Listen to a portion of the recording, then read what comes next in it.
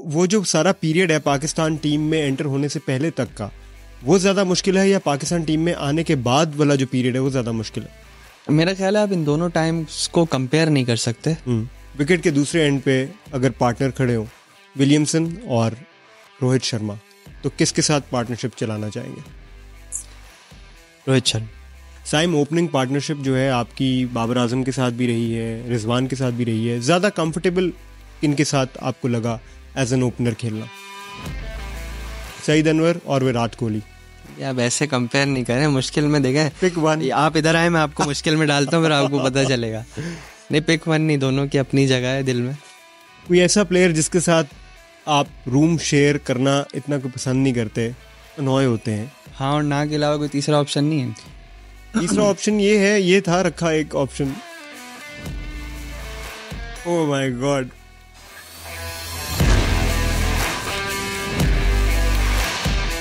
hello and welcome to off topic season two I am your host Amir Hamza अगर आपने अभी तक Zalmi TV को सब्सक्राइब नहीं किया तो फ़ौरन से पहले कीजिए, क्योंकि हमारा दावा है कि आपको इस चैनल से बेहतर स्पोर्ट्स कंटेंट और कहीं नहीं मिलेगा। यू फ़ोन फोर जी के पास डेटा बहुत है और हमारे पास बातें बहुत है, इसलिए आज के हमारे जो पॉडकास्ट में गेस्ट हैं उनका नाम है Saim Ayub. Mister no look shot हम फ़ौरन से पहले करते हैं उनको वेलकम इन दिस पॉडकास्ट। अस्सलाम वालेकुम Saim welcome to off topic. क्या हाल है आपके? वालेकुम सलाम अल्हम्दुलिल्लाह आप ठीक है? ज़बरदस्त। तो साइम शुरू करते हैं। हमेशा मैं एक सवाल करता हूँ जो पहला सवाल है क्योंकि हम क्रिकेटिंग जर्नी और आपकी लाइफ जर्नी को डिस्कस कर रहे होते हैं। तो ये बहुत ज़रूरी होता है जानना कि क्रिकेट का ख्याल कब आया क्यों आया और किसने पुश किया कि हाँ भाई, साइम अयूब जो है वो क्रिकेटर बन सकता है? पुश तो एज इन किसी ने नहीं किया, लेकिन ख्याल अब मुझे शौक था बचपन से क्रिकेट खेलने का और शौक नहीं बल्कि आप कह सकते हैं क्रेज था। गलियों में फ्लैट्स में, दोस्तों के साथ जब छोटे थे तो खेलते थे। जहाँ मौका मिला खेल लेते थे।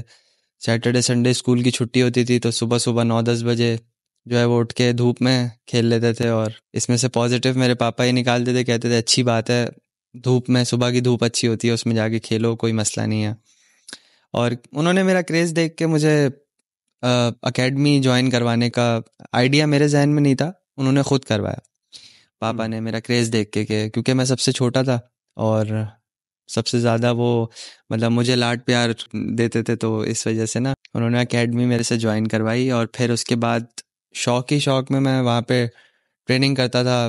पहले टेप बॉल से स्टार्ट किया फिर हार्ड बॉल में प्रमोट हुआ और कैटेगरीज होती थी नेट्स में भी। कहीं पे बहुत छोटे थे फिर मिडिल हम्म। फिर सबसे अच्छे लोग। तो उसमें भी प्रमोशन होने पे बड़ी खुशी होती थी। And then club cricket start हुई under sixteen under nineteen region से खेला तो वो पता ही नहीं चला कि शौक कब प्रोफेशन में बदल गया लेकिन बस मज़ा आता था क्रिकेट खेलने में। हम्म। जो कि अभी तक यही चल रहा है कि मज़ा आता है क्रिकेट खेलने में तो ध्यान शुरू से उसी चीज़ पे था कि क्रिकेट खेलने में मज़ा आ रहा है मैं खेलता रहूँगा। जो चीज़ मिलती रहेगी अल्लाह की तरफ़ से वो उसमें और कोशिश करेंगे कि और उसको मज़े से इंजॉय करें। मैं खेलता रहा मज़े लेता रहा और। अल्लाह ताला ने शौक़ को प्रोफेशन में बदल दिया। ज़बरदस्त। तो बहुत कम स्टोरीज हमें ऐसी एक्सप्लोर करने को मिली हैं कि वालदेन की सपोर्ट हो। जनरली होती है नो डाउट वालदेन की सपोर्ट के बगैर इंसान आगे तक नहीं बढ़ पाता। लेकिन क्रिकेट में जो हमने देखा है वो जनरली यही देखा है कि आप खुद अपने आप को पुश कर रहे होते हो लेकिन इन योर केस आप बता रहे हैं कि आपके वालिद साहब जो हैं उन्होंने बड़े सही टाइम पे आपको प्रोफेशनल क्रिकेट की तरफ़ पुश किया। नहीं देखें बिकॉज़ हमारा जो मुल्क है वो वहाँ पे कंपटीशन बहुत ज़्यादा है। बहुत ज़्यादा लोग क्रिकेट खेल रहे होते हैं और क्रिकेटर्स बनना चाहते हैं। हम्म। आमतौर पे अगर आप देखें कि कोई इंग्लिश मुल्क होता है या वहाँ पे कंपटीशन इतना नहीं है। तो यहाँ पे कंपटीशन बहुत है तो एज अ पेरेंट वो ये सोचते हैं कि इससे अच्छा है कि क्योंकि बहुत बड़ा रिस्क है। बहुत बड़ा पढ़ाई छोड़ के और फिर क्रिकेट खेलना और पता नहीं हमारा बच्चा आगे जाएगा कि नहीं जाएगा। तो पेरेंट्स अपनी जगह बिल्कुल ठीक होते हैं उस टाइम हम्म। पे। वो सोचते हैं कि इससे अच्छा है कि पढ़ाई कर ले। हम्म। तो जो भी फ़ील्ड चूज़ करेगा कुछ ना कुछ बन जाएगा फ्यूचर सिक्योर हो जाएगा हम्म। और एजुकेशन तो इम्पोर्टेंट है ही सबके लिए। तो पापा भी यही बोलते थे मम्मा भी यही बोलती थी। ऐसी बात नहीं है कि फुली सपोर्ट किया उन्होंने। दुआएँ हमेशा साथ थी अभी भी हैं और आगे भी रहेंगे ऑब्वियसली बट जो उनका ख्याल था वो ये था कि जब भी मैं किसी टूर से आता था ना इवन अंडर सिक्सटीन के टाइम पे भी या अंडर नाइनटीन के टाइम पे भी तो वो ये बोलते थे कि चलो अब टूर खत्म हो गया अब थोड़ा पढ़ाई पे भी ध्यान दे दो क्योंकि वो ज़रूरी है उसको नहीं छोड़ना है और मैं बोलता था जी जी हो जाएगी हो जाएगी आगे ये टूर है वो टूर है। लेकिन पापा जॉब में बिज़ी रहते थे। मम्मा जो है वो इतनी स्ट्रिक्ट नहीं होती हैं किसी की भी। हाँ। जितने पापा होते हैं इन चीज़ों में। बट जब पापा को भी देखने लगा कि इसमें है थोड़ा बहुत उनको पोटेंशियल है। हाँ पीएसएल मिला पहली दफ़ा। टीवी पे कुछ मैचेस उन्होंने देखे। आसपास के लोगों से उनके दोस्तों से उनके जानने वालों से कंपनी से मतलब लोग आपस में तारीफें सुनने को मिलती हैं कि आपका बेटा हमने देखा कि टीवी पे वो खेलता ही है ये वो तो उनका भी इंटरेस्ट फिर बढ़ने लगा अच्छा आप जब टीवी पे आ गए तब उन्होंने फाइनली रियलाइज़ किया कि ये तो तब उन्होंने प्रॉपरली रियलाइज़ किया कि ये आखिर है क्या क्रिकेट ना प्रोफेशन क्योंकि उन्होंने तो सिर्फ़ शुरू से देखा ही था। एज अ स्पोर्ट्स वो आपको करवा रहे थे। बिल्कुल इसका शौक है शौक है तो खेलता रहेगा और हम्म, एक टाइम पे आके हो सकता है ये चीज़ खत्म भी हो सकती है। हाँ। लेकिन पढ़ाई चलती रहे। अच्छा अच्छा। अनफॉर्चुनेटली हमारा जो कल्चर है वो ऐसा है कि यहाँ पे या तो हम क्रिकेट प्रॉपरली खेल सकते हैं टॉप लेवल की ये मैं बात कर रहा हूँ हम्म, या तो हम पढ़ाई टॉप लेवल की कर सकते हैं। बीच में जो होता है वो फंस जाता है हाँ। सीधी बात है उसको एक एक एक चीज़ चूज़ करनी पड़ती है at the right time right तो जब अंडर 19 में खेला और मुझे कुछ कोचेस भी मिले फिर पीएसएल खेला तो मुझे इतना तो रियलाइज़ हो गया था कि एट सम लेवल तो मैं कर सकता हूँ। और अगर इसमें पुश किया जाए अपने आप को बहुत ज़्यादा तो कुछ ना कुछ तो हो ही जाएगा क्रिकेट में। हम्म। बिल्कुल एजुकेशन इंपॉर्टेंट है मैं कोशिश भी करता हूँ कि जब जब मुझे मौका मिले मैं पढ़ूँ। लेकिन क्रिकेट में मैंने सोचा कि अब एक चीज़ है अल्लाह ताला ने गिफ्ट दिया है तो इसको एंजॉय करना चाहिए। तो आपकी बातचीत से पता चलता है कि पढ़ाई का इन्फ्लुएंस रहा है थ्रू आउट तो ये बता दें कि कितना आपने पढ़ा हुआ है और आगे कितना पढ़ना चाहते हैं जब जब आपको टाइम मिले? पढ़ा तो मैंने फ़र्स्ट ईयर तक है। सही। उसके बाद मुझे बिल्कुल टाइम नहीं मिला क्रिकेट का। अब अब मैं मुझे समझ नहीं आता इस पर अल्लाह का शुक्र बोलूँ या क्या बोलूँ अनफॉर्चुनेटली बोलूँ बट बेसिकली ये भी एक एक्सक्यूज है। अगर बंदा एक्सक्यूज ना देना तो पढ़ाई एट सम लेवल कर सकता है ऑनलाइन भी कर सकता है। बिल्कुल। क्योंकि एजुकेशन नहीं हो पाई तो अभी क्रिकेट के साथ साथ मैं ये कोशिश करता हूँ कि जो अच्छी बुक्स होती हैं या कुछ भी वो साथ साथ में पढ़ने की कोशिश करते रहूँ तो उससे ये होता है कि आपकी क्योंकि आपको बोलना है पूरी दुनिया के सामने और बात करनी है तो टॉकिंग सेंस कम्युनिकेशन सेंस और थोड़ी बहुत आपकी वोकेबलरी स्ट्रांग हो जाती है ना तो आप आपका अच्छा हो जाता है सब और एक्सपोजर भी बहुत बढ़ता है। आप बुक्स पढ़ते हो तो बहुत डिफरेंट इन्फॉर्मेशन जो है आप आपको मिल रही होती है। इट्स वेरी गुड बिल्कुल हैबिट बिल्कुल। अगर आप गैदर करना चाहें इन्फॉर्मेशन तो आप कर सकते हैं इजीली और फिर क्रिकेटर की लाइफ तो होती है दुनिया घूमना है इधर उधर।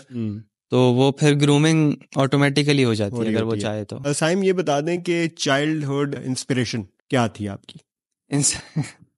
इंस्पिरेशन तो पाकिस्तान टीम को जब मैं खेलते हुए देखता था ना तो मैं बोलता था कि काश इस जगह मैं हूँ मैं जितवाऊँ पाकिस्तान टीम को। और जब मैं देखता था कि कुछ पाकिस्तान के प्लेयर्स कि, किसी किसी एकेडमी में भी मैं समटाइम्स था तो वो विज़िट करते थे वहाँ पे प्रैक्टिस करने आते हैं। नॉर्मली तो एज अ मतलब क्लब लेवल पे हम लोग वहाँ पे होते हैं तो कोई बड़ा प्लेयर आता है तो वो अपना किट बैग लेकर आता है पाकिस्तान का।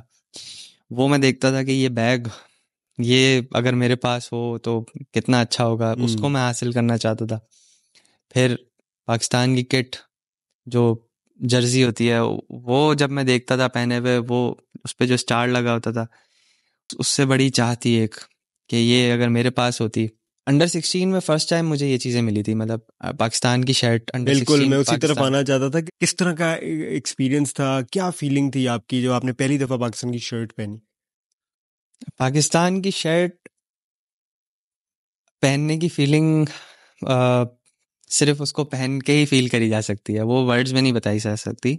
और ये रियल चीज़ है। हम्म। ऐसी बात नहीं है कि मैं ऐसे ही कोई ड्रामा कर रहा हूँ। हाँ। ये, ये वाकई हकीकत है। पहले हमारे कितने कितने भी क्रिकेटर्स हैं पाँच सौ हज़ार क्रिकेटर्स हैं वो वो ये बात सुन के वो एक्चुअली एग्री करेंगे। उनको हम्म। पता है कि किस तरह और क्रिकेटर्स नहीं है एथलीट जितने भी पाकिस्तान को रिप्रेजेंट कर- रहे हैं हमारे जितने भी हीरोज हैं माशाल्लाह से वो हम्म। सब ये बात समझ सकते हैं। हम्म, और फ़र्स्ट टाइम मैंने किट पहनी थी जब मैं टॉस के लिए जा रहा था क्योंकि अंडर 16 को मैंने कैप्टन किया था हम्म, ऑस्ट्रेलिया में ना। हम्म।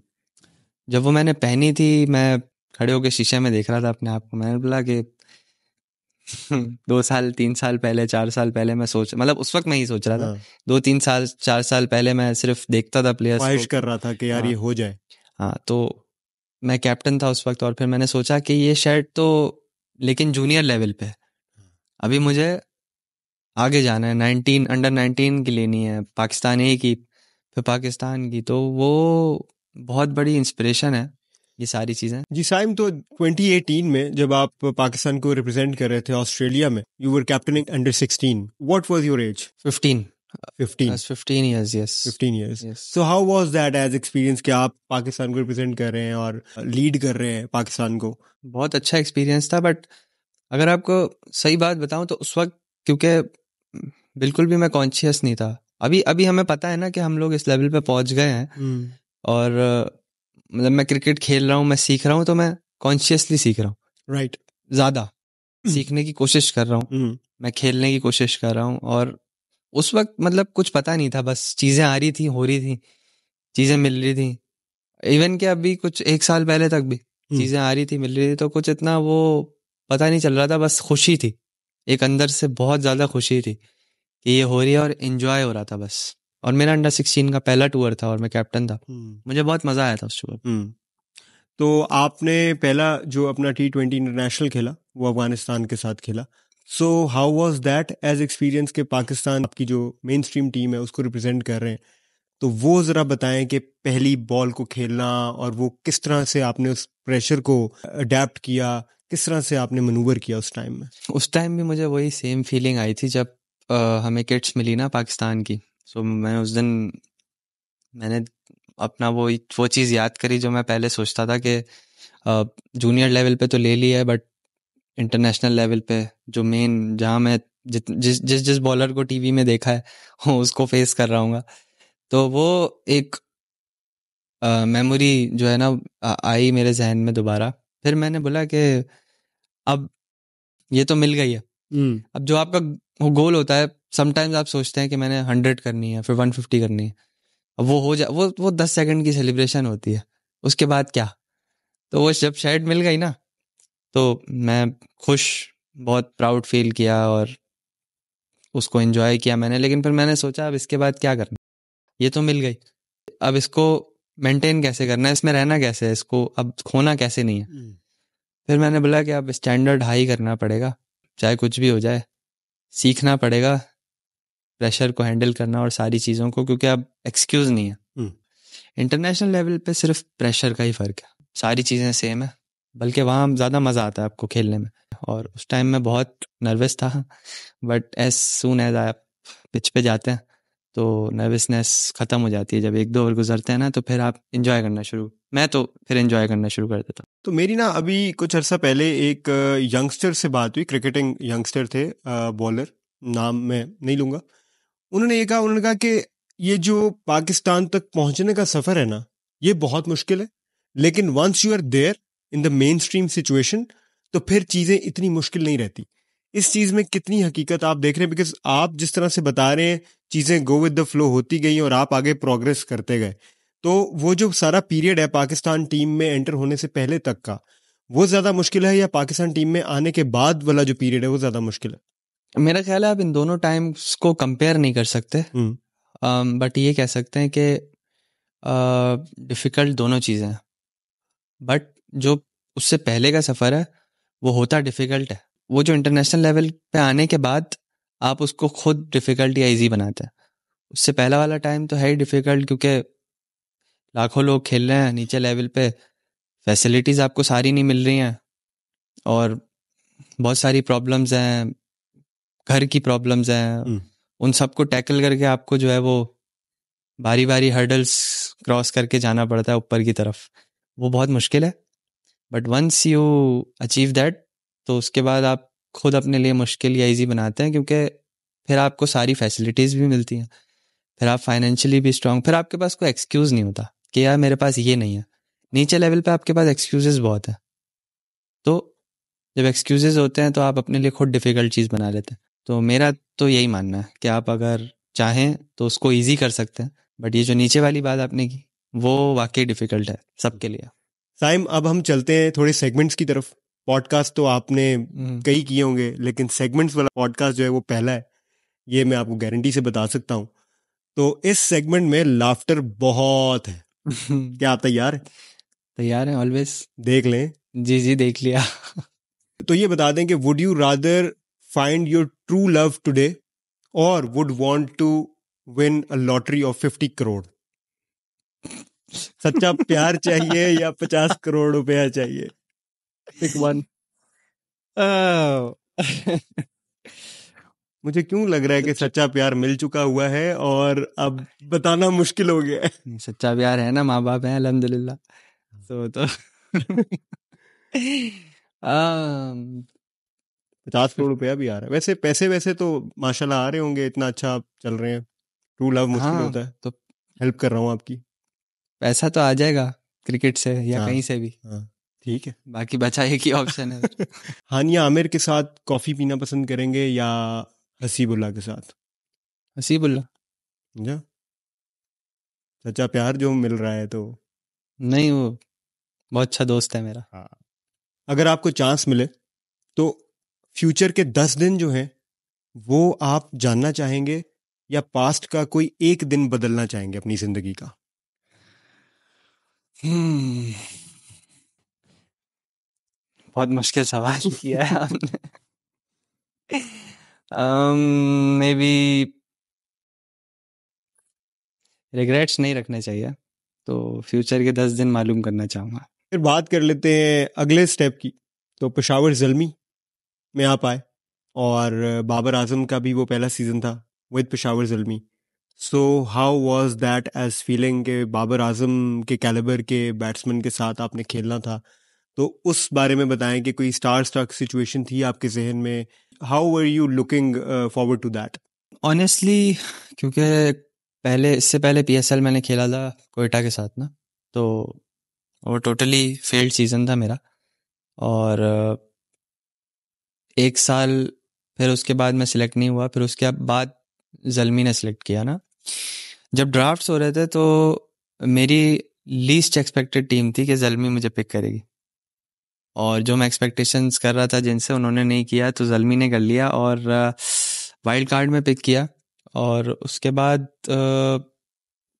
क्योंकि जलमी के पास ऑलरेडी बैट्समैन इतने अवेलेबल थे तो मैं यही सोचता रह गया कि अब पता नहीं मुझे चांस मिलेगा, नहीं मिलेगा और अगर मिलेगा तो मेरे पास मार्जिन ऑफ़ फेलियर भी कम होगा। क्योंकि मेरी हिस्ट्री भी पीएसएल की अच्छी नहीं रही तो मुझ पर सम काइंड ऑफ़ प्रेशर भी था। और मतलब मेरे लिए थोड़ा सा सरप्राइजिंग था ना कि जलमी ने मुझे पिक किया। बट वंस मैं जलमी में आया कोचिंग स्टाफ और माहौल मैंने देखा प्लेयर्स का आपस में जो इन्वायरमेंट uh, बनाया उन्होंने और मतलब टोटली एक फ्रेंचाइज की अपनी एक अ, एक इन्वायरमेंट होता है। वो जब मैंने देखा तो आई टोटली कंफर्टेबल और फिर बाबर भाई की आपने बात की उनका भी पहला साल था वो एज अ कैप्टन आए थे। मेरी बिल्कुल उनसे बात नहीं थी। मैं उनसे पहले उससे पहले मेरा ख्याल है उनसे मिला भी नहीं था। उनसे कभी बात नहीं हुई थी मेरी बट हम मिले तो हम्बल हैं जिस तरह के वो बहुत नेचर में बिल्कुल सॉफ्ट है और कंफर्ट देते हैं प्लेयर्स को अपने साथ बात करने में और जो भी पूछना हो पूछ सकते हैं बात कर सकते हैं।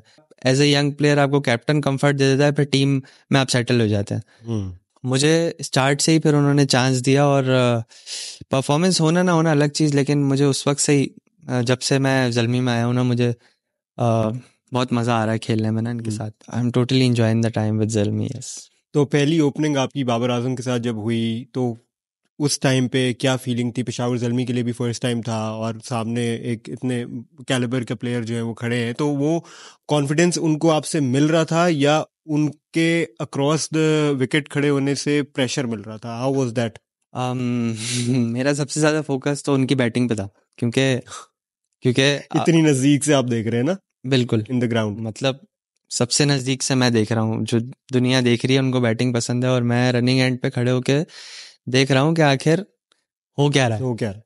तो वो भी एक अलग मज़ा है। ये इस बारे में तो मैंने सोचा ही नहीं ना कि मैं उनको या किसी को इम्प्रेस कर पाऊँगा या नहीं कर पाऊँगा या कुछ। हाँ। मेरा टोटली ध्यान ही वो था कि यार मैं उनके साथ ओपन कर रहा हूँ और बस मुझे मज़ा आ रहा है। मैं हम्म। एंजॉय कर रहा हूँ।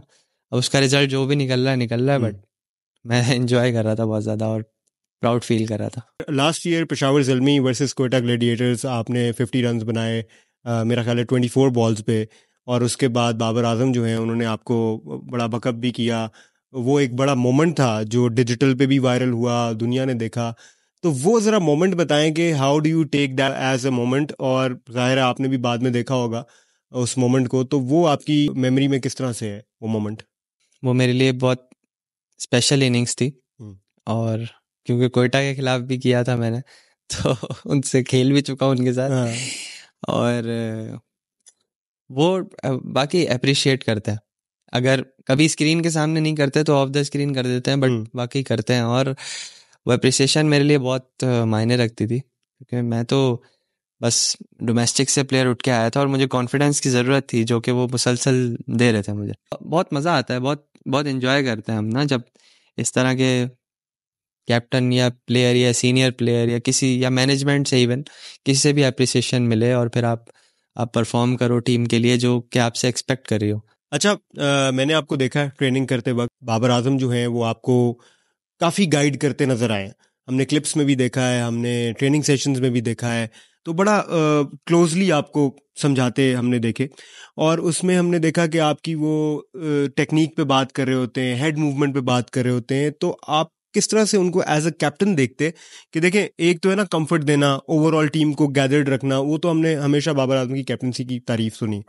लेकिन क्लोजली गाइड करना यंगस्टर्स को तो इस एक्सपीरियंस का ज़रा आप हमारे साथ शेयर करें कि आप इसको किस तरह से लेते हैं। मैंने आपको जैसे कि बताया ना कि वो यंगस्टर्स के लिए इवन हर प्लेयर के लिए वो अपने दरवाजे खुले रखते हैं। वो कहते हैं कि जो भी, जब भी बात करनी है और जब भी कोई मसला हो, कोई जहन में बात आ रही है, कोई डाउट आ रहा है तो मुझसे बात करो, मुझसे पूछो।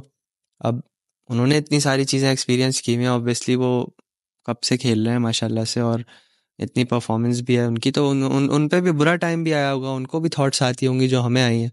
जहन में चीज़ें आती हैं और मैं वो उनसे वही डिस्कस करता हूँ जब भी आ, मुझे कोई प्रॉब्लम होती है या कुछ होता है ना मैं उनसे डिस्कस करता हूँ। फिर वो मुझे बताते हैं। हम्म। तो ऐसा कभी नहीं हुआ कि मैंने कोशिश की हो उनसे बात करने की और उन्होंने मुझे बताया ना हो या बोला हो कि थोड़ी देर बाद या वो नहीं इस तरह नहीं। जब भी मैंने उनसे बोला है उन्होंने इंस्टेंट मुझे जवाब दिया और फिर उसमें अपनी तरफ़ से भी वो ऐड करते हैं कि अगर कोई चीज़ तुमने नहीं पूछी लेकिन वो भी अगर हो सकती है तो वो भी बताते हैं। और ये अच्छी चीज़ है बहुत। ज़बरदस्त। क्योंकि यंग प्लेयर को इन चीज़ों की ज़रूरत होती है। तो फिर हम इन चीज़ से ये भी सीखते हैं कि जब हम सीनियर प्लेयर बन जाएँगे कोई जूनियर आएगा तो फिर हम्म। हम उसको इससे भी बेहतर ट्रीट नॉट ओनली कैप्टन बल्कि वो मेंटोर का रोल भी प्ले करते नज़र आ रहे हैं ना? बिल्कुल। अब बात कर लेते हैं साइम की नो लुक शॉट की। ये ऐसी कहानी है जो हम सुनना चाहेंगे। ये जो नो लुक शॉट है आपकी ये इजाद किस तरह हुई?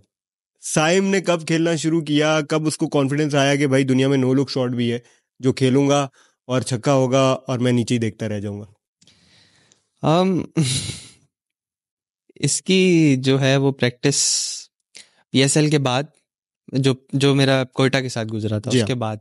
तो उसके बाद मुझे कोच भी मिले मेरे जो जिनके साथ मैं काम करता हूँ और वो जो है मैंने अपनी बैटिंग पे काम शुरू किया ना फिर। बहुत मतलब मैंने बस सोचा कि अब मुझे बनना है कुछ ना कुछ बनना है। ये कोयटा के मैच के बाद सोचा कोयटा पीएसएल जब गुजर गया हाँ। कोयटा वाला। कोयटा वाला ओके। कोयटा के साथ जब मैं खेला। Right right right. तब जब मैं फेल हुआ ना तो उस पीएसएल के बाद मैंने सोचा कि मैंने अच्छा बैट्समैन बनना है। हम्म। मतलब अपने आप को अच्छा करना है। उसके बाद मुझे कुछ मिलता है या कुछ नहीं मिलता वो अल्लाह के हाथ में। लेकिन मैंने अपने आप को प्रिपेयर रखना मतलब कि आप ये कह सकते हैं मैंने डिसाइड कर लिया कि अब आज से मेरा शौक होगा प्रिपेयर रहना रादर देन सेलेक्ट होना। वाह तो वो चीज़ करते करते ना तो समटाइम्स ऐसा होता है आप नेट में बैटिंग करते करते फिर आप अच्छे शॉट्स लग रहे होते हैं फिर आप इंजॉय करना शुरू कर देते हैं तो कोई ऐसे शॉट मार दिया कोई वो। तो बस इस तरह हुआ कि मैं एंजॉय कर रहा था। हम्म। और एंजॉय करते करते कभी उधर टांग ले जाऊँ ऐसे मार दूँ कभी अच्छा। उधर टांग ले जाऊँ ऐसे मार दूँ। और सारे शॉट्स लग रहे हैं बस मैं एंजॉय कर रहा हूँ कि भाई अब कुछ तो ऐड करते रहना है ना आपने बैटिंग में। या किसी भी चीज़ में ऐड तो करते रहना है ये तो कभी नहीं रुकेगा। तो वो करते करते बस ऐसी पोजीशन बन गई। और मुझे नहीं पता था इवन पीएसएल से पहले भी मुझे नहीं पता था कि ये शॉट लग सकता है। बस देखा कि फील्डर ऊपर है और रन आ सकते हैं। पोजीशन बनी मारा। इसके बारे में मैं कॉन्शियस नहीं था बिल्कुल। अनकॉन्शियसली उसकी पोजीशन भी अच्छी थी क्योंकि पीछे प्रिपेयर प्रिपरेशन थी। लेकिन इस शॉट का मुझे भी नहीं मैंने कॉन्शियसली कभी प्रैक्टिस नहीं करी थी इसकी। सही। तो वो लगा और जब आप बॉल को हिट करते हैं हम्म।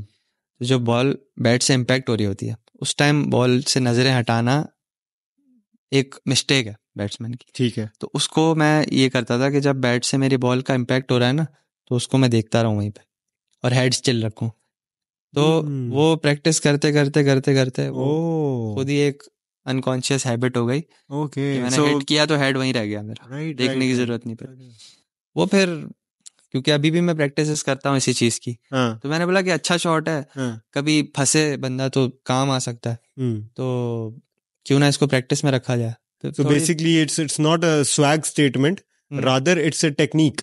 कि आपको इतना Yes. अपने हेड लॉक और आईज लॉक की हुई है कि यू नीड दैट वो शॉट खेलने के लिए it's a basic if you uh, keep watching the ball till the end Yeah. Ball ज़्यादा ट्रेवल करेगी हाँ। तो ये तो बेसिक है और ये मैं करता हूँ तो कुछ बड़ा करता टिप बट दे गए आप ये तो हमारे व्यूअर्स को बहुत बड़ा टिप दे गए आप नहीं ये तो बेसिक है ये तो uh, बहुत सारे कोचेस भी बताते हैं प्लेयरों को और ये है कि फिर ये जितना मशहूर हुआ था हम्म। तो उस टाइम मैंने बोला कि नहीं लोगों लोगों को अच्छा लग रहा है ठीक है बट आपने इसको ज़्यादा सर पे सवार नहीं करना है। हाँ। और इसको इतना कोशिश नहीं करनी क्योंकि in the end risk risk है रिस्क है। रिस्क की तरफ़ ही आ रहा हूँ साइम बिल्कुल। फॉरन से पहले रिस्क की तरफ़ ही आऊँगा कभी ऐसे फील हुआ है कि नो लुक शॉट भी खेल दी बॉल भी ट्रेवल कर रहा है और कहीं दिमाग में ये भी फंस रहा है कि यार ये फील्डर कहीं कैच ना कर ले और मैं तो नीचे ही देख रहा हूँ। कभी ये फीलिंग आई है जहन में? रिस्क नहीं बेसिकली वो शॉट खेला जब जाता है जब फील्डर सर्कल में होता है। हाँ। और सर्कल में अगर वो है तो इतना कॉन्फिडेंस तो होता है कि पेस यूज़ करेंगे तो वो तो क्रॉस हो ही जाएगा। ट्रेवल कर जाएगी। ट्रेवल कर जाएगी बॉल हम्म, और रिस्क तो है ना शॉट में क्योंकि आप पीछे खेल रहे हैं पोजीशन आपको नहीं पता बॉलर क्या बॉल करेगा। तो जितनी क्वालिटी बैटिंग करते रहेंगे ना हम लोग जितना कंसिस्टेंट होना है हम्म। तो उस कंसिस्टेंसी के दरमियान आपको उसकी ज़रूरत है कि आपको हम्म। रिस्क फ्री शॉट्स खेलने हम्म, हम्म, हम्म, तो पिछले साल के पीएसएल के बाद भी मैंने सोचा कि अब मैं अपनी बैटिंग को रिस्क फ्री कैसे बना सकता हूँ हम्म। क्योंकि ऑल द टाइम रिस्क आपका साथ नहीं देते और सामने फिर प्लेयर्स भी अच्छे होते हैं एक्यूरेट होते हैं हम्म। तो वो इतनी आसान नहीं होता मैं बोला कि जब फंसूँगा या जब ज़रूरत पड़ेगी उस शॉट को तब खेलूँगा अदरवाइज़ मुझे ज़रूरत नहीं है क्योंकि। मैंने इतनी प्रैक्टिस की है सामने और बाकी ग्राउंड में मारने की तो वो कब काम आएगी? हम्म। तो अभी हमने रिसेंटली देखा टिमाल मिल्स को आपने पहली ही बॉल पे यही किया। No look shot the sixer गया और वो अपना सर खुजला रहे थे हम्म। और वो आपको देख के स्माइल कर रहे थे बॉल भी देख रहे थे। तो अब तो बॉलर जो हैं वो वो उसको एंजॉय करते हैं उस मोमेंट को कि ये इन, इन्होंने हमारे साथ किया क्या है। लेकिन उस शॉट के बाद जब आप अपने नॉर्मल स्टांस में आए तो आप भी स्माइल कर रहे थे। तो वो जो स्माइल थी वो टिमाल मिल्स को थी या वो बाबर आज़म को थी? वो क्या था? वो जरा बताएँ। वो स्माइल शॉट की एंजॉयमेंट के लिए थी। हाँ। मैं मैं शॉट को एंजॉय किया। कुछ मैचेस में हम देखते हैं कि अक्सर बैट्समैन परफॉर्म नहीं करते। खास तौर पे जो एग्रेसिव बैट्समैन होते हैं हारिस से हमारी बात बड़ी डिटेल में हुई थी तो उन्होंने ये कहा था कि यार मॉडर्न डे क्रिकेट में there are chances when you will not perform on the day तो हमने अभी भी देखा कि पीएसएल में जो आपके मुल्तान सुल्तान्स के साथ देन कराची किंग्स के साथ अभी रिसेंटली जो मैचेस हुए उसमें जो आप चाहते थे वो नहीं मिला आपको रिज़ल्ट लेकिन उसके बाद the way you bounced back 88 run out of 55 balls उस तरह की परफॉर्मेंस तो ये कम किस तरह से आ जाता है? इसके लिए क्या करना पड़ता है? कोचेज कोई इनपुट डालते हैं या मतलब वो थोड़ा प्रोसेस बताएँ कि किस तरह से you get back to where you belong ये आपने बहुत अच्छा सवाल पूछा है ना और हम मैं ख़ास तौर पे ये अपने जो मेंटोर है जो कोच है उनसे भी करता रहता हूँ बेसिकली प्लेयर ने बैट्समैन ने इतनी प्रैक्टिस कर ली होती हैं कि अब वो उसको जब भी एग्जीक्यूट करेगा तो वो उसका सक्सेस रेट हाई होना चाहिए लेकिन वो कैसे होगा कि सोच का फ़र्क होता है अप्रोच का फ़र्क होता है कि अगर आप मेंटली ये सोच रहे हो पहले से कि यार कहीं ये ना हुआ तो। उसका सक्सेस रेट ऑटोमेटिकली डाउन हो गया। हम्म। और अगर आपने ये सोच लिया कि यार कैसे नहीं होगा? उसमें एक आ जाता है कि बिलीफ फिर उसके बाद आ जाता है कि आप के जो थिंकिंग पैटर्न्स होते हैं और पहले तो शॉट मारने की बात आपने की ना कि शॉट मारने पे जो डाउट आता है वो तभी आएगा जब आप अपने पे डाउट करेंगे। अदरवाइज़ इतनी प्रैक्टिसेस की हैं तो अगर आपने हज़ार बॉलें खेली हैं और मैच में आप पचास खेल रहे हैं तो अगर उसमें भी शॉट नहीं लगेगा तो फिर फिर तो सेल्फ बिलीव में मसला है ना। और जो फॉर्म की आपने बात की कि दो मैच फेल होने के बाद तीसरा कैसे अच्छा करें तो वो बेसिकली थिंकिंग पैटर्न्स होते हैं। उसमें जब आप ज़्यादा परफॉर्म करते हैं या जब आप अंडर परफॉर्म करते हैं तो आपकी समटाइम्स जो है वो फ्रस्ट्रेशन बहुत ज़्यादा बढ़ जाती है। समटाइम्स सक्सेस ज़्यादा मिलती है तो आप वो चीज़ें इजी ले लेते हैं जो आप सक्सेस से पहले कर रहे होते हैं। ओके। तो जब आप मेंटली ज़्यादा ऊपर चले जाते हैं या ज़्यादा नीचे हो जाते हैं या तो मेंटेन नहीं रखते अपने आप को हाँ, तो फिर परफॉर्मेंस में फ़र्क आता है। और ये लाजमी होता है हर किसी के साथ। तो जो मेंटली स्ट्रांग जो ये टर्म है ना इसको यही कहा जाता है कि मेंटली स्ट्रांग वो बंदा होता है जो कंसिस्टेंट रहता है। तो वो बैटिंग में रन्स तो कंसिस्टेंटली कर रहा है लेकिन उसके सोचने के पैटर्न भी कंसिस्टेंट है। वो अपने आप, अपने गेम को, अपने प्रोसेस को उतनी इंपॉर्टेंस दे रहा है, जितनी वो सक्सेस से पहले दे रहा था। सक्सेस के बाद भी उतनी दे रहा है। और बुरे टाइम में अंडर परफॉर्म करते हुए भी उतनी इंपॉर्टेंस दे रहा है। उससे फ्रस्ट्रेट होके किसी चीज़ को मिस नहीं कर रहा। वाह साइम क्या बात है। बड़ी ठीक बात आपने की। और ये है कि देखें, यही है जो आपको कहते हैं ना कि मेंटली स्ट्रांग होना। तो this is the perfect example you know कि किस तरह बैलेंस करना है और ये जानते जानते भी लोगों के करियर खत्म हो जाते हैं। But this is really hard ये जितना इजी साउंड करता है ना ये उतना है नहीं। लेकिन आप देखें ना साइम हमारे पास काफ़ी प्रोफेशनल ऐसे हैं जिनको इस चीज़ का भी नहीं पता कि उनका मसला क्या चल रहा है। हम्म। तो you know if you know that so you know what the problem is नहीं बेटा अगर मसला चल रहा है तो पूछना चाहिए ना बात करनी चाहिए बात करनी चाहिए। इतना कॉन्फिडेंस होना चाहिए कि आप किसी से क्योंकि लर्निंग तो किसी से भी ले सकते हैं ना। हम्म। क्रिकेटिंग सर्कल कोई भी इंडस्ट्री हो, उसका सर्कल इतना बड़ा होता है कि आप किसी से भी मसला हल करवा सकते हैं। फिर अल्लाह ताला आपके साथ है। आप कोशिश करेंगे तो कोई ना कोई वसीला इंशाल्लाह बनेगा ना। बिल्कुल। तो साइम अभी तक जो आपका लाइफ जर्नी हमने देखा क्रिकेटिंग जर्नी हमने देखा, उसमें हमें ये पता चलता है कि साइम जो है, वो स्लोली एंड ग्रेजुअली स्टेप्स जो है पार करते गए अपने क्रिकेटिंग करियर में और उनको उसका रिवॉर्ड मिलता रहा, उन्होंने हार्ड वर्क किया, उसका रिवॉर्ड मिला। लेकिन उस सारे सफ़र में कभी ना कभी लाइफ स्ट्रगल्स आई होंगी, मुश्किलात आई होंगी। कोई ऐसा आप इवेंट बताएँ या कोई ऐसी स्टोरी हमें बताएँ, हमारे साथ शेयर करें, क्योंकि हर एक की होती है स्ट्रगल्स होती हैं। तो हमारे साथ शेयर करें कि ऐसा वो क्या इवेंट था आपकी लाइफ में, जो आपको आज भी याद है कि यार वो बहुत मुश्किल पीरियड था और अल्लाह का शुक्र आप करते हैं कि वो पीरियड आपका गुजरा। सबसे मुश्किल चीज़ तो अभी क्योंकि करियर का स्टार्ट ही है तो इतनी ज़्यादा है नहीं, लेकिन अंडर 19 का वर्ल्ड कप था।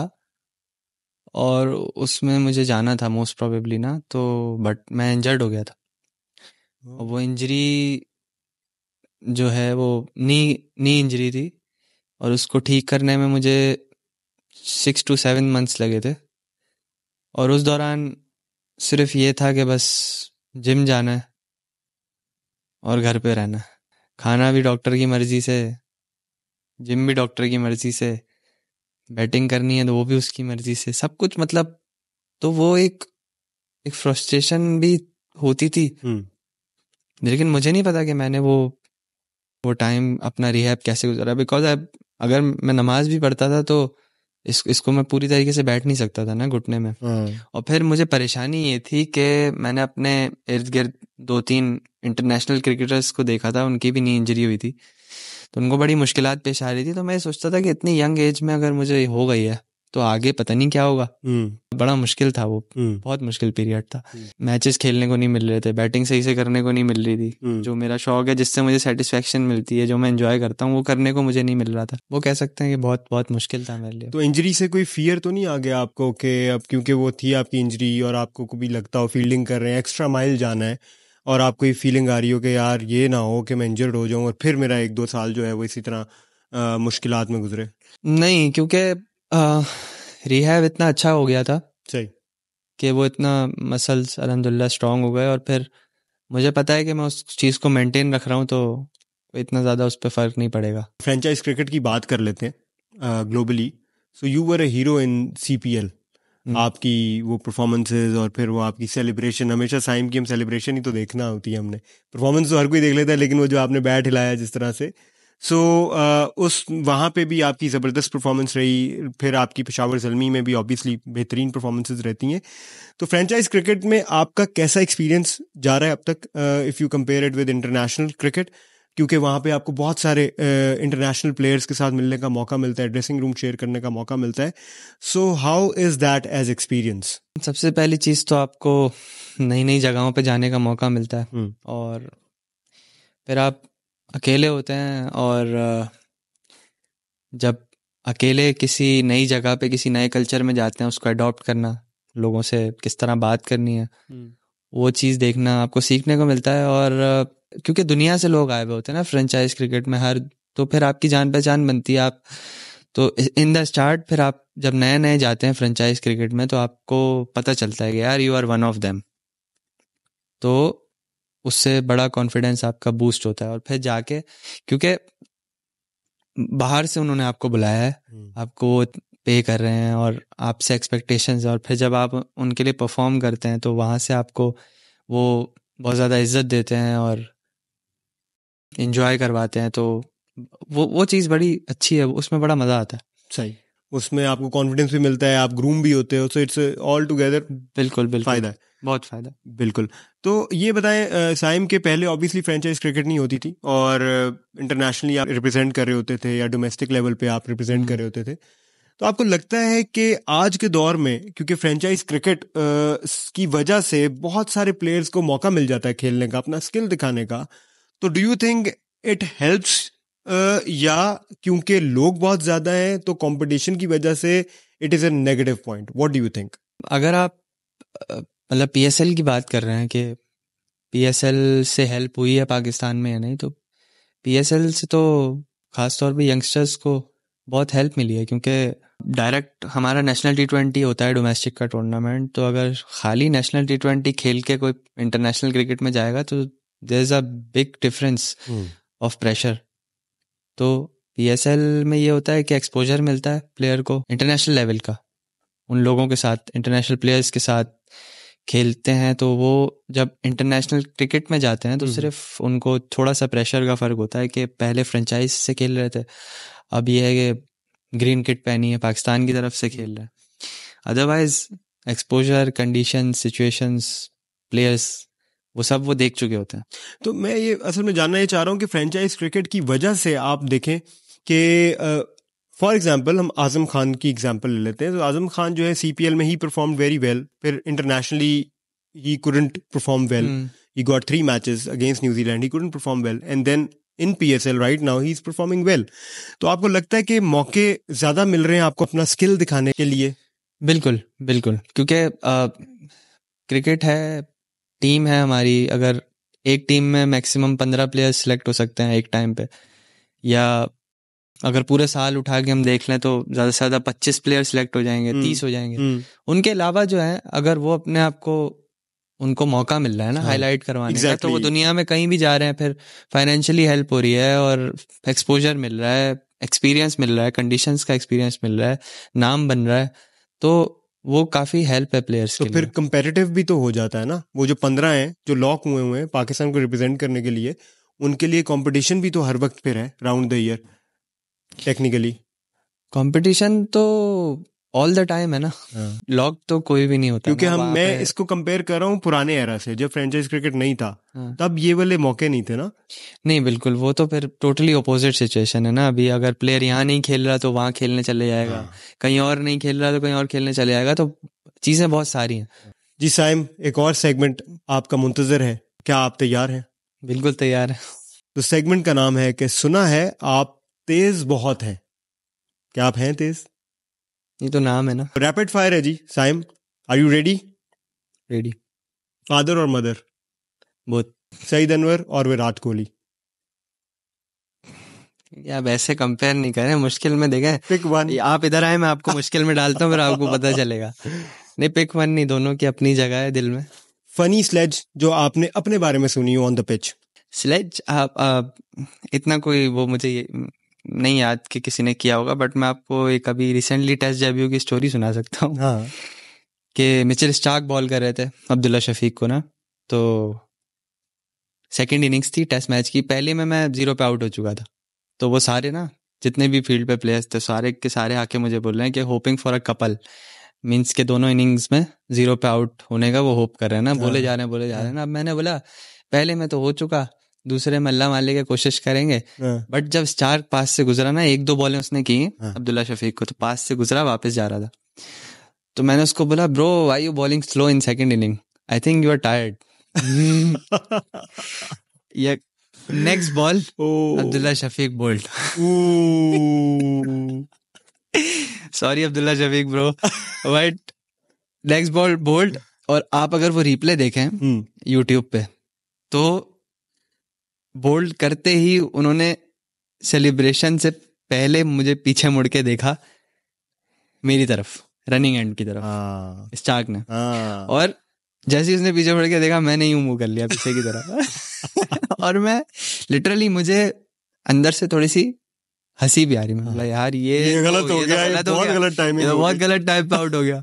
अब वो जब जाए वापसी में bro you want see that again you want see that. Again मैं चुप हो गया वहाँ पे ना थोड़ी देर के लिए। सबसे ज़्यादा डर किस बॉलर से लगता है आज के दौर में? टू बी ऑनेस्ट डर डर नहीं लगता। अगर डर लगता है ना तो कभी कंडीशन या सिचुएशन से लगता है। बॉलर से टू बी ऑनेस्ट नहीं लगता। हम्म। ये मैं को, कोई उसमें नहीं कह रहा कि कोई बड़ी बात है या हाँ। कुछ। मैं ऑनेस्टली बता रहा हूँ कि बॉलर से डर नहीं लगता। सिचुएशन या कंडीशन से डर लगता है प्रेशर आता है। गिफ्ट देना पसंद करते हैं कि लेना पसंद करते हैं? लेना। ऑब्वियसली ऑब्वियसली आपका आजकल का क्रश मेरा जो भी नया बैट आता है ना मेरा क्रश बन जाता है। हम्म, ये वेल लेफ़्ट था। Favourite social media app WhatsApp वो कौन सी सेलिब्रिटी हैं जिनके साथ आप डिनर करना चाहेंगे? दोबारा पूछेगा वो कौन सी सेलिब्रिटी हैं कौन सी? कौन सी?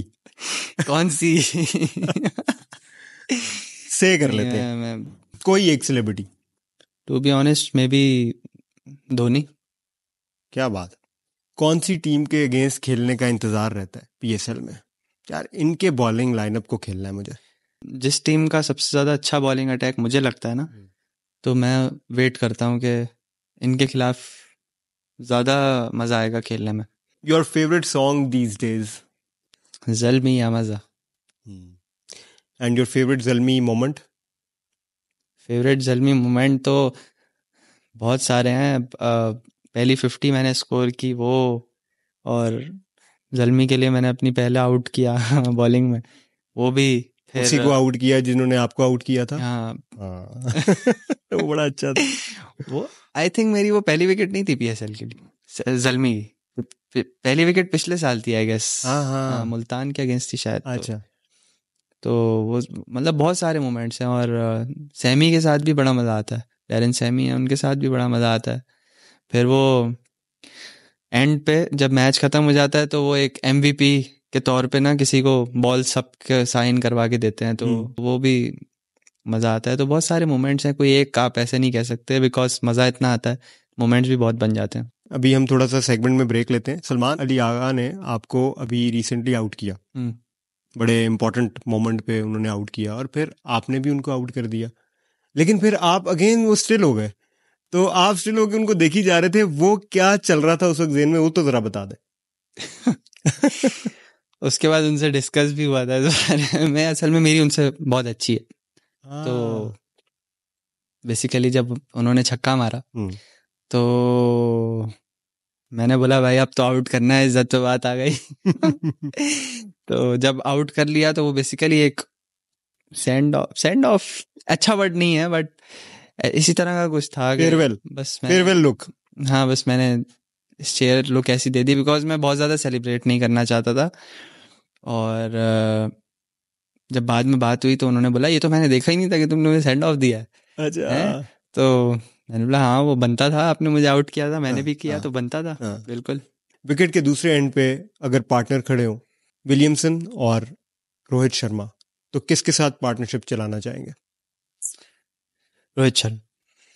किस बॉलर को उसकी पीक पर आप नहीं खेलना चाहेंगे? जोफ्रा आर्चर या जसप्रीत बुमराह? जोफ्रा। को नहीं खेलना चाहेंगे?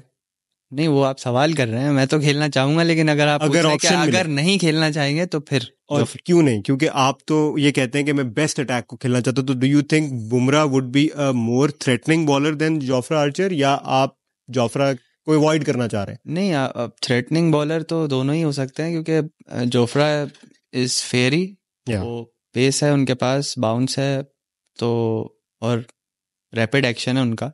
अचानक से आके बॉल को मारते हैं तेज हम्म। और आई थिंक आपने जिसके जिससे भी अगर आपने देखा हो कभी किसी पॉडकास्ट में या किसी ने भी अगर जोफ्रा के बारे में बात की है तो वो तेज है। बिल्कुल बिल्कुल। तो आप मैं तो खेलना चाहूँगा मुझे तो मज़ा आएगा खेलने में एक्सपीरियंस करने में बट आप जो सवाल पूछ रहे हैं वो ये है कि अगर नहीं खेलना हो हाँ। तो किसको नहीं खेलेंगे? तो सही ऑप्शन निकाली ना बहुत तो सोचा था मैंने मैंने- कि कौन सा ऐसा बॉलर रखूँ जो साइम शायद कह दें कि यार इसको नहीं खेलना चाहूँगा। हाँ नहीं मतलब वो भी मैं सवाल का जवाब देने के लिए हाँ। बोल रहा हूँ कि नहीं खेलना चाहूँगा। वैसे तो खेलना चाहूँगा लेकिन इन दोनों में से अगर आप बोलेंगे तो ऑब्वियसली जोफ्रा को नहीं खेलना चाहूँगा साइम थोड़ा सा क्रिकेटिंग पे बात कर लेते हैं। आपका टेस्ट डेब्यू हुआ ऑस्ट्रेलिया के खिलाफ और बड़ी ही ज़बरदस्त किस्म की आपकी परफॉर्मेंस रही। छोटा स्टैंड था लेकिन जितना था वो बड़ा इम्पैक्टफुल था। और आपने रिप्लेस भी इमामुल हक को किया। तो उस एक्सपीरियंस को किस तरह से देखते हैं कि आप ऑस्ट्रेलिया जो कि एक, बड़ा अहम किस्म का डिवेन्यू है फॉर ऑल द कंट्रीज़ पहले तो टूर पे जाते हुए मैंने सोचा नहीं था कि मेरा टेस्ट डेब्यू होगा इस पर मतलब एक रियलिस्टिकली अगर बात करें ना मैंने नहीं सोचा था कि इस पर होगा। और ऑस्ट्रेलिया से बेहतर टूर मेरा ख्याल है लर्निंग के लिए कोई हो नहीं सकता। बिल्कुल। वहाँ पे एक तो सबसे अच्छी चीज़ है उनके स्टेडियम्स माशाल्लाह इतने अच्छे बने हुए हैं और दूसरी चीज़ के जब वहाँ टेस्ट मैच हो रहा होता है ना अगर आप वहाँ जाके देखें स्टेडियम में बैठें तो आपको ऐसा लगेगा कि मैच नहीं ये इवेंट हो रहा है। ये कोई इवेंट हो रहा है। इतना वेल ऑर्गेनाइज्ड और ऐसा माहौल उन्होंने बनाया होता है स्टेडियम में। और लोग भी फिर वहाँ के इंटरेस्ट लेते हैं तो बड़ा मज़ा आता है क्रिकेट खेलने में। लगता है कोई जेंटलमैन्स गेम हो रहा है। राइट वहाँ पे डेब्यू करना is a dream. For cricketer. और फिर debut against well settled fiery bowling attack जो कि सारे के सारे सेट हुए हुए हैं। फुल फ्लेज ऑस्ट्रेलिया ने तो फुल फ्लेज टीम खिला दी ना अपनी। मतलब हम एक्सपेक्ट कर रहे थे शायद कोई थोड़ा। चेंजेस करें उन्हें तो बिल्कुल क्योंकि pack. वो बॉलर सारे सेट हैं काफ़ी अरसे से खेल रहे हैं। और चेंज नहीं होता है उनमें कोई इतना खास। और काफ़ी अरसे से उनकी वेल सेटल्ड टीम थी तो उसके अगेंस्ट डेब्यू करना इज़ इज़ समथिंग डिफ़िकल्ट मैंने अपने अंदर यही चीज़ रखी हुई है कि जितना ज़्यादा चैलेंजिंग हो उतना उसको एंजॉय करना है। हम्म। तो मैंने यही सोचा था कि बस एंजॉय करना है रिज़ल्ट जो भी आए। और टेस्ट कैप तो फिर वो एक जर्सी से भी ऊपर की फीलिंग है। बिल्कुल।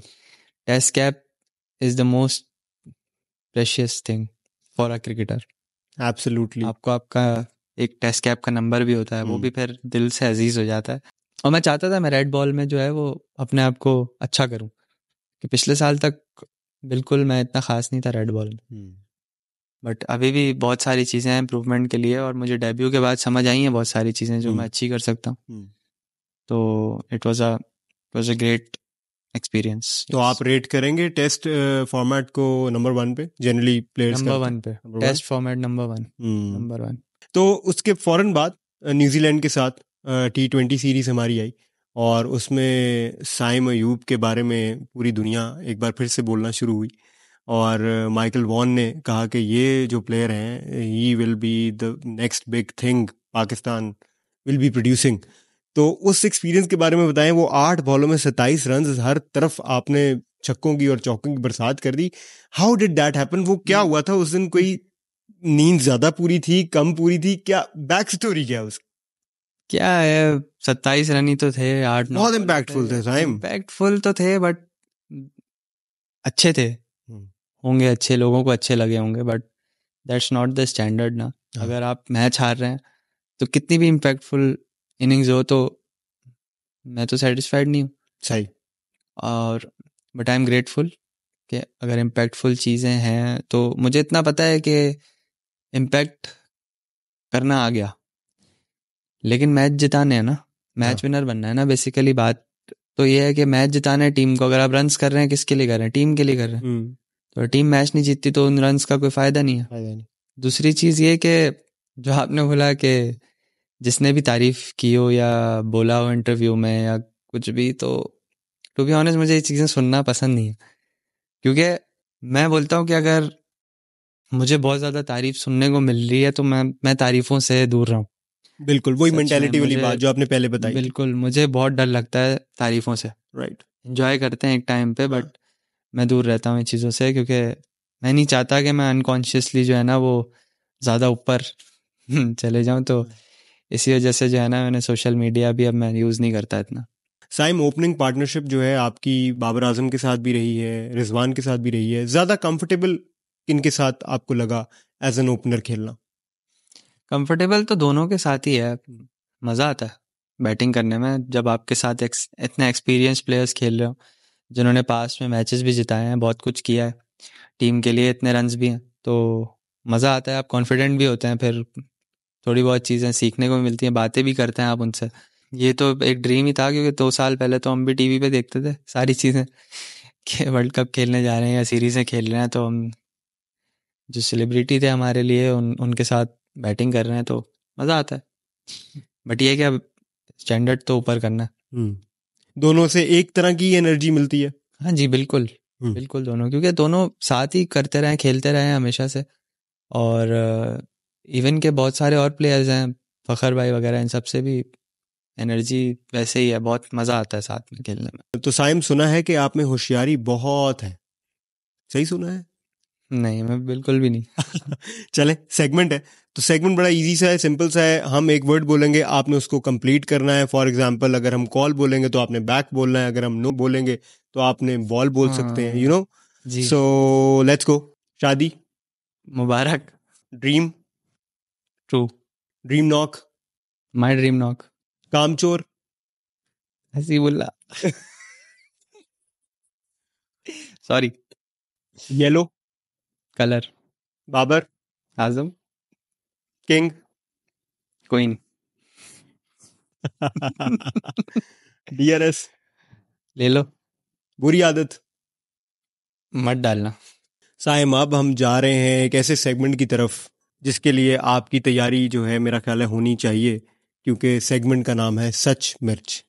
सेगमेंट बहुत सिंपल है। हम्म, इसमें या आपने सच बोलना है या आपको खानी पड़ेगी मिर्च। पहला सवाल साइम आप ये बताएँ कि सोशल मीडिया पे आपको प्रपोजल्स आते होंगे। कभी किसी पर दिल पिघला है? नहीं। साइम सच बोल रहे हैं? हँसी से लग रहा है कि कहीं झूठ निकल रहा है। आपका सवाल ऐसा है इसलिए हँसी आ गई? नहीं नहीं वाकई। है नहीं, दिल नहीं पिघला नहीं दिल नहीं फिर प्रपोजल्स आते हैं। वो तो आते हैं यार किसी को आते हैं। फेक आईडी से ही सही लेकिन आते हैं। कोई ऐसा बॉलर जिसने आपको बहुत ज़्यादा टेंशन दी हो कोई ऐसे ऐसा ओवर गुजरा हो उस बॉलर का नाम बताएँ प्रोफेशनल क्रिकेट में। हम्म, नहीं अभी तक ऐसा तो नहीं हुआ है बट अभी तो करियर का स्टार्ट है अभी तो बहुत चीज़ें ऐसी आनी हैं। तो मे भी आगे कहीं क्रिकेट में वैसा बॉलर आएगा तो फिर मैं आपको बोलूँगा आप फिर तब पूछ लिएगा मुझसे। चले मेरा ख्याल है टी ट्वेंटी वर्ल्ड कप में जोफ्रा जो है वो रेडी हो जाएँगे तो शायद वो एक ओवर ऐसा हो नहीं वो भी खैर ऐसा नहीं होगा वो मैंने आपको सिर्फ़ सवाल का जवाब दिया था। अच्छा। जी। कभी मैच पर गए हो और किट भूल गए हो? हम्म। हुआ हुआ कब हुआ? कौन से मैच में हुआ? बहुत सारे मैचेस में हुआ है कभी क्लब के मैच में भी हुआ है। और रीजन के मैच में भी हुआ है। इंटरनेशनल मैच में इंटरनेशनल में नहीं हुआ। इंटरनेशनल में नहीं हुआ। फ्रेंचाइज में फ्रेंचाइज में भी नहीं हुआ। मतलब अंडर सिक्सटीन अंडर नाइनटीन की रीजन लेवल पे हुआ है क्लब लेवल पे हुआ है। पाकिस्तानी बॉलर्स में से वो कौन सा बॉलर है जो आपको सबसे आसान लगता है? यार ये तो हलवा है।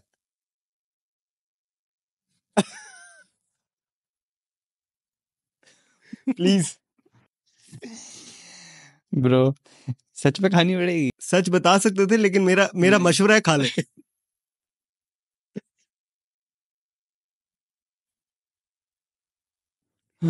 सही है। सही है। पानी? वर्थ इट पानी? प्लीज़ पानी दे। कोई ऐसा प्लेयर जिसके साथ आप रूम शेयर करना इतना कोई पसंद नहीं करते अनॉय होते हैं? हाँ और ना के अलावा कोई तीसरा ऑप्शन नहीं है। तीसरा ऑप्शन ये है ये था रखा एक ऑप्शन ओ माय गॉड पहले प्लेयर हैं जिनको दो दफ़ा मिर्च खानी पड़ गई क्योंकि वो बस किसी को हर्ट नहीं करना चाहते। कितना ख्याल है मुझे टीममेट्स का। मिर्च खा सकता हूँ लेकिन हर्ट नहीं कर सकता। मेरा ख्याल है अब हम सच मिर्च को खत्म करते हैं। सवाल तो बहुत थे बट मैं भी चाहता हूँ कि हमारे साई मयूब जो हैं वो इससे ज़्यादा मिर्चें उनको ना मिले। हम्म, और आपके सवाल मजबूर करेंगे मुझे लग रहा है। चलें फिर आगे बढ़ते हैं। जब दोस्त हों बहुत ज़्यादा तो फिर एक कॉल तो बनती है। यू फ़ोन ऑन कॉल ये हमारा अगला सेगमेंट है साइम और इसमें आपने करना क्या है कि आपने अपने किसी एक फ्रेंड को कॉल करनी है जो कि क्रिकेट फ्रेंड होंगे आपके और उनको आपने एक प्लेयर गेस करवाना है। और आपके लिए जो प्लेयर हैं वो हैं मोहम्मद रिजवान। और इनके हिंट्स हमने लिखे हुए हैं वो आप उनको दे सकते हैं। आ, हिंट्स में पहला हिंट उनका ये है कि इन्होंने फाइव थाउज़ेंड रन जो हैं वो टी ट्वेंटी में ट्वेंटी ट्वेंटी वन में किए। The only player. उसके अलावा एक और रिकॉर्ड इनका जो है वो ये है कि most run in cricket year twenty twenty one ये इनका रिकॉर्ड है। और उसके अलावा एंड पे ये hint दिएगा sometimes it's cramps and sometime it's acting ये भी इन्होंने बड़ा मशहूर गया था एक वायरल गया था। तो ये हिंट एंड पे रखिएगा। किसको कॉल करेंगे? Um, मेरा ख्याल है कि खुरम शहजाद को कॉल लगाई जाए। ज़बरदस्त। ले साइम फिर। कॉल मिलाई जाए खुरम शहजाद को। आपके पास नंबर है उनका? हेलो? खुरम शहजाद भाई पॉडकास्ट चल रहा है मेरा। तो मुझे एक टास्क दिया गया है कि अपने किसी भी दोस्त को कॉल करके अच्छा। उससे क्रिकेटर गैस करवाना है। कौन सा क्रिकेटर तो अभी आप लाइव शो पे हैं जरा थोड़ा ख्याल करिएगा। ठीक है और मैं आपसे गैस करवाता हूँ प्लेयर करवाए जी। अच्छा सबसे पहली हिंट मैं आपको देता हूँ वो ऑब्वियसली पाकिस्तान टीम में है और okay. वो एक वाहिद बैटर हैं दुनिया के जिन्होंने पाँच हज़ार से ज़्यादा रन बनाए टी ट्वेंटी में since two thousand twenty one twenty one okay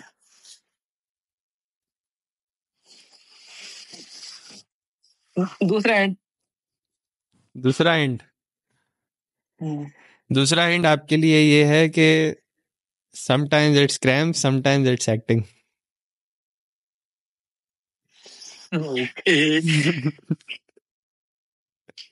तुझसे मुझे उम्मीद नहीं है लेकिन पूछ लेता फिर भी। अच्छा। पाँच हज़ार रन दो हज़ार इक्कीस से लेकर अब तक। ज़्यादा बना बना चुके हैं टी ट्वेंटी में। हाँ। और बताओ कुछ। Most run in a calendar year 2021 मदार में तुम्हारी जगह और कोई समझदार होता अभी तक गैस कर चुका होता ना? बोल रहा हूँ ये तुमसे। उम्मीद नहीं और नहीं इतना आसान गैस देंगे तुम्हें। जलमी की तरफ़ से गिफ्ट हैम्पर मिलना था। जलमी की तरफ़ से गिफ्ट हैम्पर मिलेगा अगर एक और गलत नाम लिया तो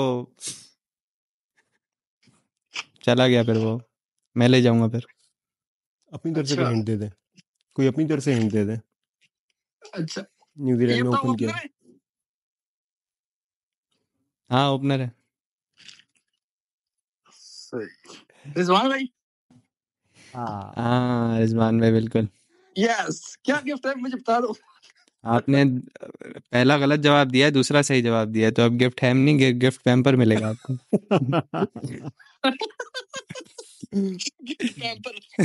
वो भी चलेगा। कुछ भी चलेगा मुझे मुझे दे तो पैम्पर भी दे। यार क्यों मैंने हेड्स आपने हेड्स दिया तो? नहीं नहीं मिलेगा मिलेगा। खुरमशजाद का गिफ्ट तैयार करें जी। मिलेगा मिलेगा डन हो गया। यू फ़ोन और इनका बहुत बड़ा दिल है। चलो चलो ख्याल रखो मैं आता हूँ फिर थोड़ी देर में। Okay okay Saim thank you so much for taking time out आपका जो पॉडकास्ट है उसको सुनने के लिए लोग जो थे उन्होंने बहुत सारे हमें मैसेजेस किए और बहुत इंतज़ार चल रहा था। बहुत शुक्रिया। अपना ख्याल रखें और इसी तरह की जो फॉर्म है अपनी वो रखें। आपके लिए बहुत दुआएँ भी हैं। जाने से पहले आप क्या कहना चाहेंगे यंगस्टर्स को यूथ को वो आप प्लीज़ कह सकते हैं। यंगस्टर्स hmm, तो मैं खुद अभी एक यंगस्टर हूँ। लेकिन ये है कि जो भी लोग हैं, जिस भी फ़ील्ड के हैं, बस इंजॉय करते रहें be grateful never be satisfied और जो लोग जिन्होंने आप, जिनका आपने कहा कि जो इंतज़ार कर रहे हैं, अगर वाकई कोई कर रहा है तो थैंक यू सो मच और दुआओं में बहुत ज़्यादा याद रखें। आपकी दुआओं की हमें बहुत ज़रूरत है और आप लोगों के लिए मेरी तरफ़ से बहुत सारी दुआएँ। साइम, यूफोन और जलमी के पास गिव अवेज बहुत ज़्यादा है, इसलिए आपके लिए भी यूफोन और जलमी की तरफ़ से एक गिफ्ट हैम्पर तो this is it from today's podcast मिलते हैं नेक्स्ट पॉडकास्ट में बहुत सारी बातों के साथ। क्योंकि यू के पास डेटा बहुत है।